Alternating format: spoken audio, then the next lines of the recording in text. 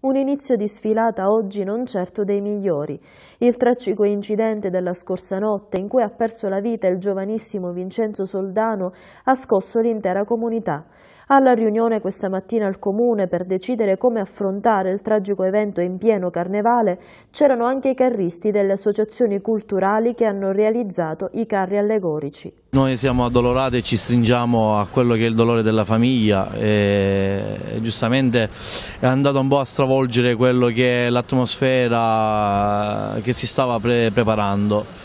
E io vengo infatti dalla riunione, siamo in comune accordo che eh, si, si, farà una manifestazione iniziale davanti al Peppe Nappa concordato con tutte le associazioni eh, col minuto di silenzio in ricordo del eh, caro Vincenzo e, poi durante la sfilata ci sarà una normalità più assoluta e sul palco credo che ci sia un, un altro punto nel, nel ricordo del, del, giovane con il minuto di silenzio ovunque noi siamo spegneremo sicuramente l'amplificazione, le luci, quello che è nel, nel suo ricordo. È stata presa in considerazione l'ipotesi di annullare tutto o no?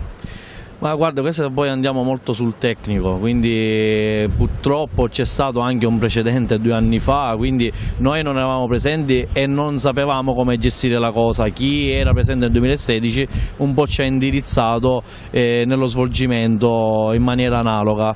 E si poteva anche pensare questo, però eh, capiamo che già siamo a sabato, una manifestazione è una macchina organizzativa che è già partita. Siete pronti per questo inizio di sfilata che non sarà tanto allegro quanto ci si aspettava?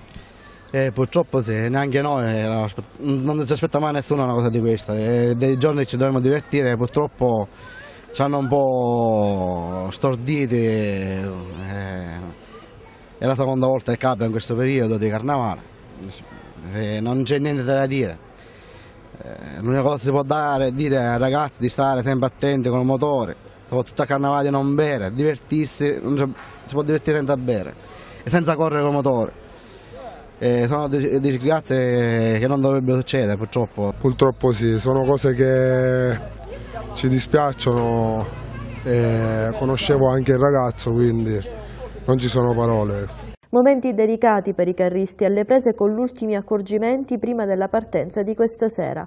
Alcune opere in cartapesta sono già complete, altre ancora in fase di montaggio. Noi siamo ancora in fase di assemblaggio perché c'è un forte vento per la sicurezza, ieri sera un po' di pioggia ci ha eh, un po' bloccato, eh, però stiamo cercando di completare il più possibile per, per iniziare. Sarete pronti questa sera? Ma eh, faremo di tutto per essere pronti, è il nostro obbligo essere, esserlo.